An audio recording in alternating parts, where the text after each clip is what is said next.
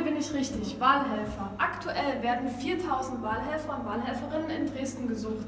Und ich bin jetzt hier bei der Arbeitsgruppe Wahlhelfer, um mich dafür anzumelden. Guten Tag. Dann danke ich Ihnen recht herzlich und vier Wochen vor der Wahl kriegen Sie von uns das. Tschüss. Hallo, guten Tag, ich würde mich gerne als Wahlhelferin bei Ihnen anmelden. Da sind Sie hier richtig. Da bräuchte ich mal bitte Ihren Namen. Da könnte ich Sie in unserer Datenbank aufnehmen. Anne Wagner. Okay, da habe ich Sie auch schon gefunden. Äh, Ich würde Ihre Daten jetzt abgleichen und dann schauen wir mal, wo wir für Sie einen Einsatz finden.